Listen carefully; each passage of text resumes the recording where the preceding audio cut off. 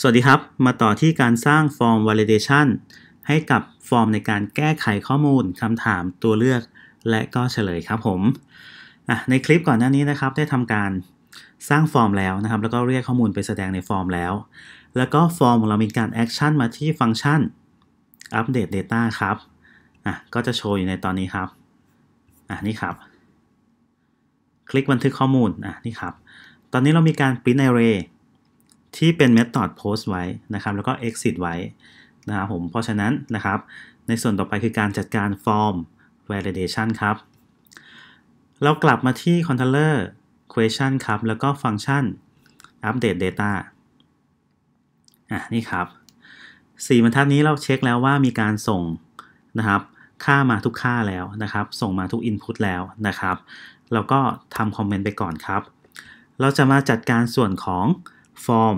validation กันต่อครับ ก็คือในบล็อกนี้นะครับ ในบล็อกนี้นะครับมันติดมาจาก การแก้ไขข้อมูล level หรือว่าเกณฑ์การวัดระดับนะครับ เพราะฉะนั้นให้เราลบทิ้งไปเลยครับ ลบทิ้งเสร็จแล้วทำยังไงต่อ ให้เราไปดูที่ add data ครับอะนี่ครับฟังก์ชัน add data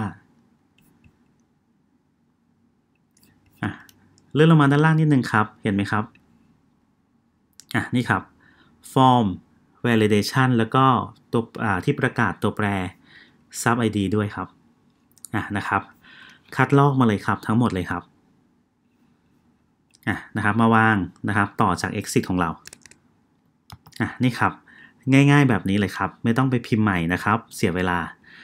แล้วก็เราเพิ่มอีกหนึ่งคอลัมน์ครับที่ขาดไม่ได้เลยก็คือ ที่เป็น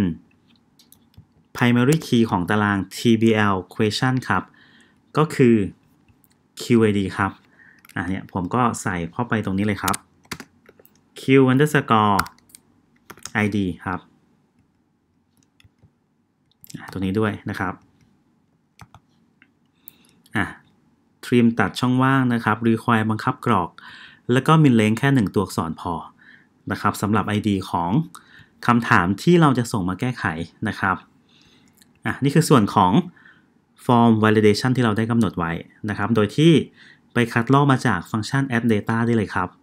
อะนะครับ อะไรที่มันมีเหมือนกันเรา copy มาใช้ได้เลยครับ แล้วก็เรามีการประกาศตัวแปรตัวนี้ครับ sub id คือรหัสวิชาครับ ที่มีการส่งมาจากฟอร์มด้วยนะครับ ที่มีการอะ pin array ตัวนี้ไว้ครับนี่ครับ reference sub id ครับ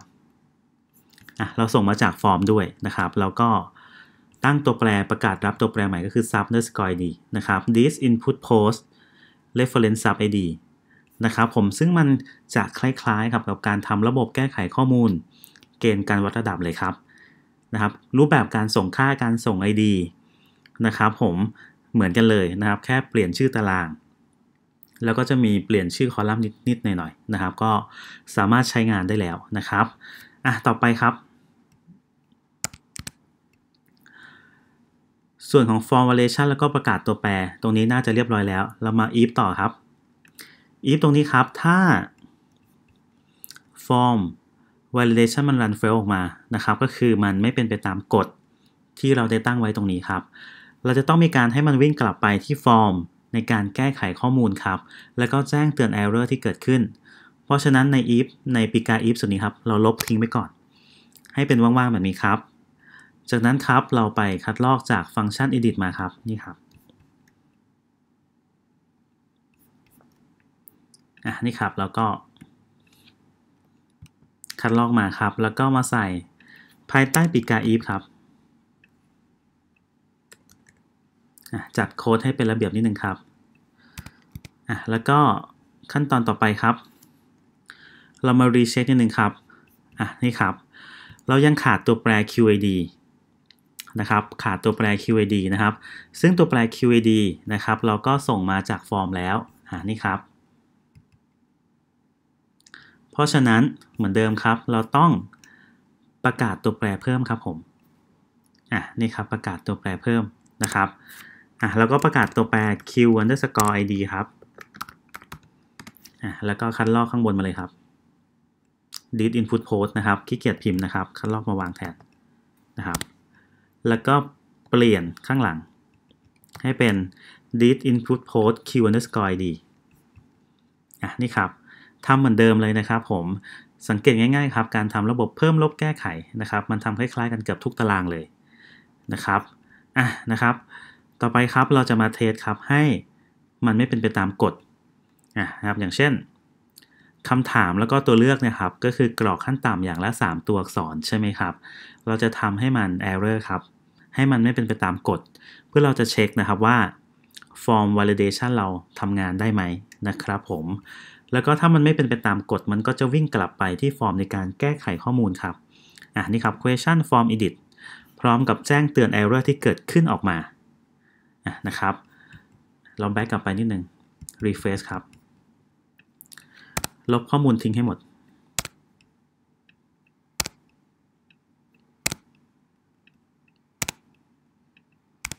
อะนะครับ ถ้าเราคลิกบันทึกตอนนี้ อะโอเคแน่นอนว่าฝั่ง front end มีการใส่ attribute require เข้าไปด้วยนะครับ บังคับกรอกนะครับ ผมก็จะ call วักนะครับ ให้เกิน 3 ครั้งนะครับของแต่ละ input เลยนะครับ เพราะว่าใน front end นะครับ เรากำหนดมี length ขั้นต่ำ3 ตัวอักษร นะครับแล้วก็เฉลยแค่ 1 ตัวอักษร คลิกบันทึกข้อมูลครับอะนี่ครับ สีแดงๆเนี่ยคือ error นะครับที่เกิดขึ้นนะครับที่มันไม่เป็นไปตามกฎของ form validation ที่เราได้กำหนดไว้นะครับ ฝั่ง back end ครับอ่านะครับเห็นไหมครับ ถ้าเรากำหนดไว้แค่ front end นะครับ แต่ back end เราไม่ได้กำหนดนะครับ ที่ผมคอวักเมื่อกี้มันวิ่งผ่านไปได้แน่นอนนะครับ นี่ก็คือความสำคัญ นะครับที่ต้องมีการเรียกใช้ form validation ให้กับทุกฟอร์มเลยนะครับอะมันจะช่วยให้ระบบเรานะครับทำงานได้อย่างถูกต้องมากขึ้นนะครับ แล้วก็ที่สำคัญช่วยป้องกันนะครับ คนไม่หวังดีนะครับ เข้ามาก่อกวนระบบเรานะครับผมอะเรียบร้อยแล้วสำหรับ form validation สำหรับฟอร์มในการแก้ไขข้อมูลคำถาม ตัวเลือกแล้วก็เฉลยนะครับ ในคลิปต่อไปก็จะเป็นการเอาข้อมูลที่ผ่านฟอร์ม validation แล้วไปอัปเดตใน database ครับ เจอกันใหม่ในคลิปหน้าครับ